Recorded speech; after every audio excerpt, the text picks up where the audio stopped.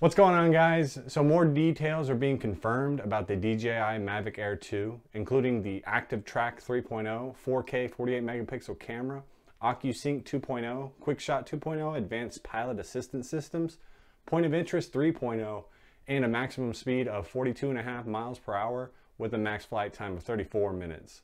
So these details are being released by dronefriendly.com.br and I found the info from a fellow YouTuber, Drone Modelissimo, and it looks like the information was gathered from a Brazilian government regulatory website, Anatel.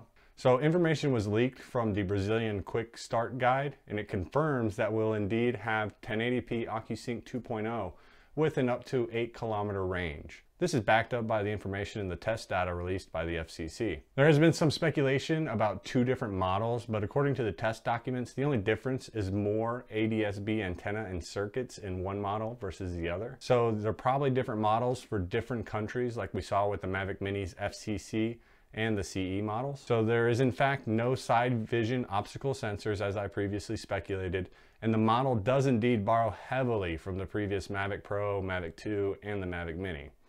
I've linked the original Portuguese manual and a translated version without the pictures down below.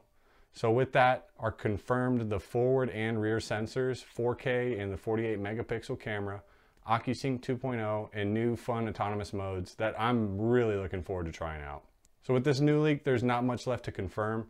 What else would you like to see from the Mavic Air 2? Let me know in the comments and don't forget to like and subscribe. See you guys next time.